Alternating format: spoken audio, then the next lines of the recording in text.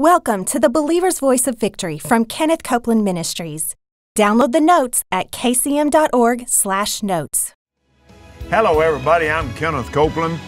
This is the Believer's Voice of Victory and I you can already tell I done been preached happy on here, praise God. Now, I mean, Bishop Butler just been ringing my bell, man, and we're gonna we're gonna we're gonna ring it again today.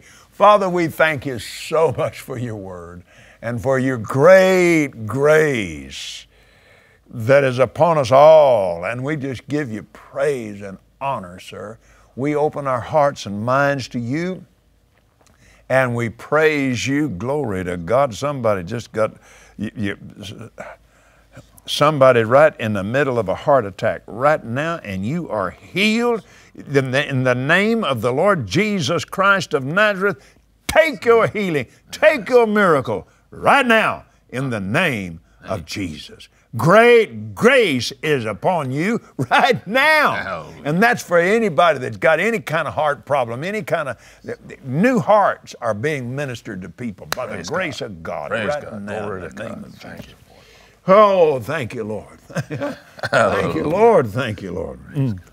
Praise Where was I? Hallelujah. Oh, listen, go to kcm.org slash notes right now. And download your, your outlines and so forth of the broadcast today. And uh, all the scriptures will be there. All the, that, that word from the Lord will be there, word for word. Amen. So uh, it's good, isn't it? Amen. Bishop, get us back in this thing quick. Well, let's go to Romans chapter 5 this time. Yes, sir. Praise God. And we have already established, if you watched the first several days, we found seven different, 17 different definitions for grace graciousness, thanksgiving, acceptable, benefit, favor, gift, joy, liberality, pleasure, thankfulness, assistance from God, the anointing. Praise God. The manifest measure of the Holy Spirit, bringing about fruits and gifts of the Spirit, results of the Holy Spirit, the work of God, praise God, and hmm. thankfulness. Hmm. And all of that is from the one Greek word. Now, praise God. Ephesians chapter 5, verse 17. The Lord, the Holy Spirit kind of dealt with me, He wanted me to go over here. And then with that word of the Lord you just have, I can see why. It says in verse 17, For if by one man's offense death reigned or ruled by one, much more, or whatever we're about to read is far more powerful than the death that came through Adam. They which receive, which means they accept abundance of grace. Greek word there means superabundance of grace, and we've established that all the 17 definitions really come down to what? The grace of God is actually the power of God. It's the manifestation of the anointing itself, is what it is. Those who will accept abundance or superabundance of grace and of the gift of righteousness. Which now tells you right there then that grace and righteousness are not the same thing. Yeah. And righteousness is going to be a result of grace. And you know But- what? It, I, I just I just saw God's accentuation on gift, hmm. Right. the gift of righteousness.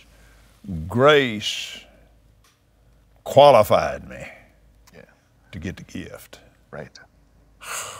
Yeah, and that's why we are saved by grace, not saved by faith. We are saved by grace through faith. It is by faith, so that it might be by grace. Exactly. Praise sir. God. Amen.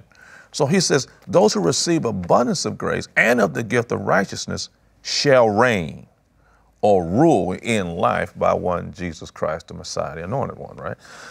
So a person has to receive, and note what it says. See, the word abundance is a quali- qualifier. If you can receive abundance of grace, you can receive less than abundance. Oh yeah, sure. okay? Or you can receive great grace, okay? But and and you know, in that when we were talking yesterday about Acts chapter four, okay, about great grace, Yeah. and what caused great grace to come? Well, they prayed the word. They prayed in faith. They asked God for manifestations of grace. miracles, so forth, so on. Praise God. They were in one accord, and you had a move of great grace, and they were willing to receive it. I mean, the Spirit of God, when it was saying to somebody, give up, give that land away, uh, give that house away, or whatever it was, he told them. They had to receive that. They could have went. Uh, no, I'm not. I'm willing to give part of this, but uh, I mean, they had to make a, a decision to accept the word of grace. The scripture, what it says that the, uh, I believe it was Acts chapter 20, I think it is, verse 32. I said it, the word of God is called the word of grace. Mm-hmm. Yeah. So they were willing to receive or accept the word of grace. And because they were willing to receive the word of grace, they could have abundance of it. So here, those who receive the abundance of grace and of the gift of righteousness can rule in life by one Jesus Christ. You have to be willing to receive. And receiving it means acting on what's told you by the Spirit of grace, the Holy Ghost Himself. So if a person, a lot of times people are, they, they want to see something happen, but you're not going to see something happen until you receive that word of grace. And if you'll receive it by faith, mm-hmm. however much degree of that word you'll believe, you can have a abundant manifestation. Keith, I, the, the Lord uh, opened my eyes to this years ago. Right, right here, he says that righteousness has, through one man's disobedience, death came. Mm-hmm. Through one man's obedience, which was Jesus, righteousness has come upon all men. So, the, and the Lord showed it to me. It looked like a low hanging cloud everywhere, over all men. Just close as your breath. Just right there all the time. But when somebody received it, it looked like a lightning bolt. Man, it just uh, right down into your spirit. It was hanging there all the time. And it's there for everybody. Everybody throughout the whole planet is there. But when you receive it, man, the power of it hit your spirit man, kill that old spirit man dead, and the new creature emerged on the inside by the glory and the grace of God. Ah, and you know in Hebrews 2 9, through the grace of God, Jesus tasted death for all men. It's just hanging there right in that same cloud. And when you receive Jesus as your Lord and Savior, man, that lightning bolt come out of that cloud. That's what I want to talk about. Was that right there? Because what happened? Every single believer, every, every single person watching this broadcast who is born again has received at least once an operation of superabundant of grace. Absolutely. When? when? Absolutely. When you ask Jesus Christ to come into your life, what happened? Grace, the power of God itself, praise God, recreated you. Isn't that just? You went from death to life. It took out the death. Mm, mm. Praise God. Killed the old man. Kill that old. And recreated you to a new species of being that never before existed. And you received Jesus, so you received his grace. He's covered over with it. And everything he is. That's right. That's what happened. So, so when people go, you know, well, I don't know if I can receive. You've already done it. You've, You've already. Done it. You have received, received it to such an extent that you are no longer the same, and heaven is yours. And everything that God offers is yours. Praise God. No wonder you could you can reign. So if you can receive it, praise God, to, to be born again, you can receive it for healing of your heart. Let me tell you another scripture just popped up in me right just as you said that. This is the victory, 1 John 5. Mm-hmm. This is the victory that overcometh the world, even our faith. Nothing in the world order that faith won't overcome. But what does the overcoming? The grace. The grace. It Romans 4:16 again. It is by faith so that it might be by grace. Whoa. Yeah, I mean, even even during Hebrews 4 16, when he talked about uh, come boldly to the throne or the decision place of grace, that you may obtain mercy and find grace, and it tells you what grace does, helps you. Oh, yeah, to, to, yeah. to help in a time. Right. It helps you right at whatever place. So if you decide to receive, you need help right now, receive the grace. And grace, of course, one of the definitions, 17, uh, 17 definitions, one of the definitions of grace is gift. You don't have to do anything except believe what he said. And that's for somebody, right? Yeah, yeah, praise God. Someone's also had a, a mental pressure and disease. And there's a thing right behind, right here on the top of your neck. There's a pressure, almost like it's a, it's almost like it's a boil. Mm. That that mm. here on the back of the neck. Praise God. And you've tried everything to kind of get rid of this thing to, to help you with it. All you got to do right now, just say, I receive. I receive it. Praise God. Disappear right now. Mm-hmm. Glory to God. Hallelujah. Praise God. Amen. Praise God. All kind of brain diseases right now. All kind yes, of sir. mental issues in the name of Jesus. The grace of God is now made available. Just say, yeah, I received that. I accept that. Yes, praise God. Your memory will come totally sharp. Hallelujah. Praise God. Just take it. Grace is available. You don't have to do anything for that except receive. Someone, Keith, in really, really, really bad need of, of teeth, abscessed teeth, all, all in your mouth. I, and I saw it, I, I, I literally saw it in the spirit that God just put a whole mouthful of new teeth in there. Just, just the whole mouthful, just in the name of Jesus. Mm. Amen. Glory, Glory to God. God. Now, somebody said, well, I don't believe that. Well, you won't be bothered with it. But the person that takes it by faith, the grace of God is there to do it. Praise God. Right now. Amen. Yeah, let's translate this like like you did with Christ and the anointing years ago.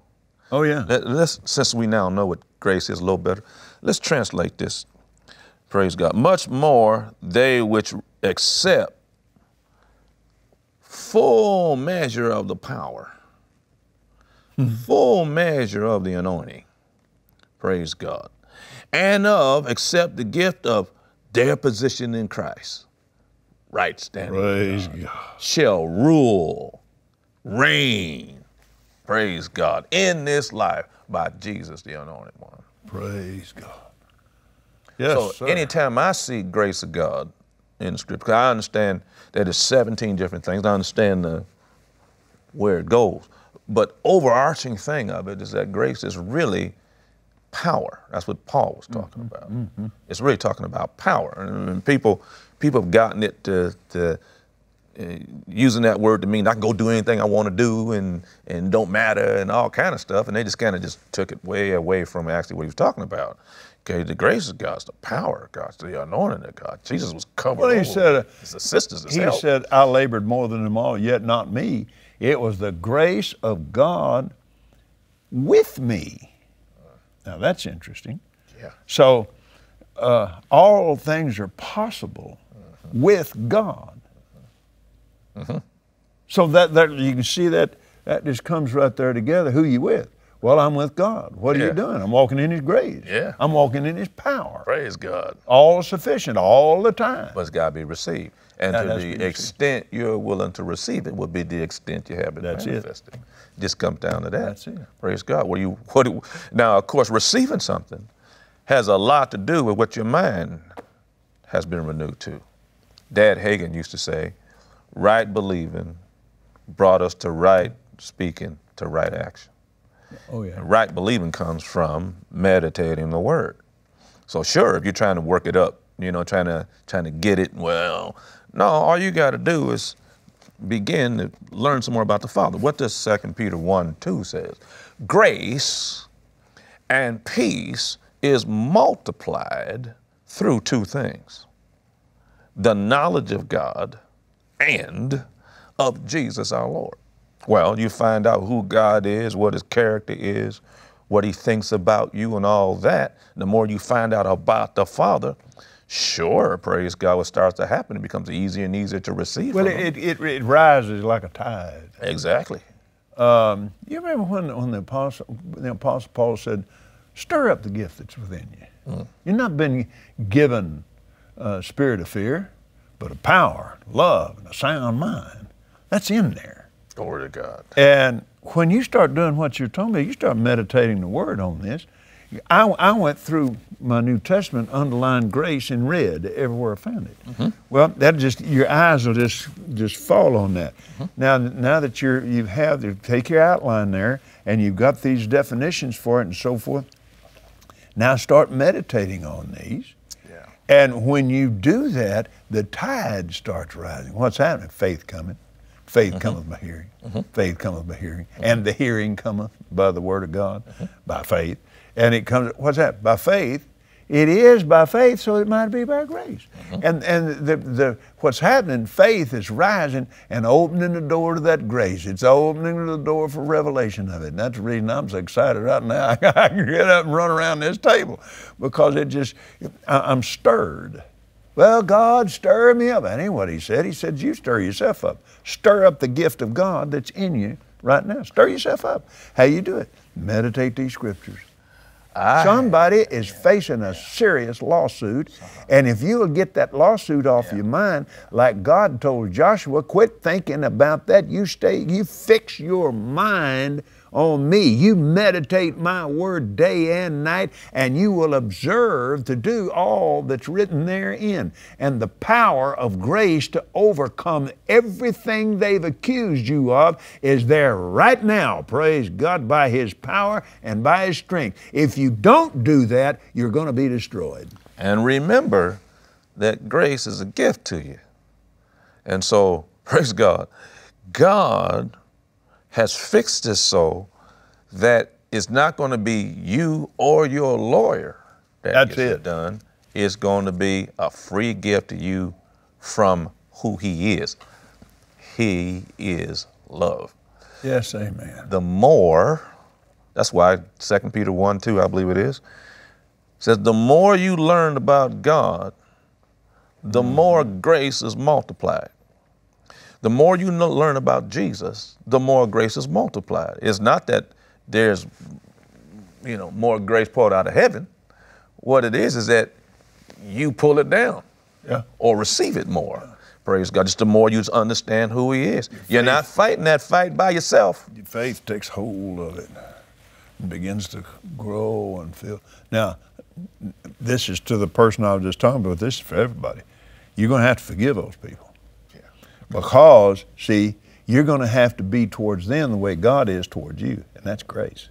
You, you're going to have to. You're going, you're going to have to say, "Well, I find no fault in them." Ah, how can I do that? well, you go on and get your get your brains kicked in because you you've fallen in the trap the trap of the devil, which is accusing and and and holding against people and all that. You, but you, when you forgive, here comes the grace. Glory to God, and that protection and that that power that's involved in it. Why? Because God is fighting your fight.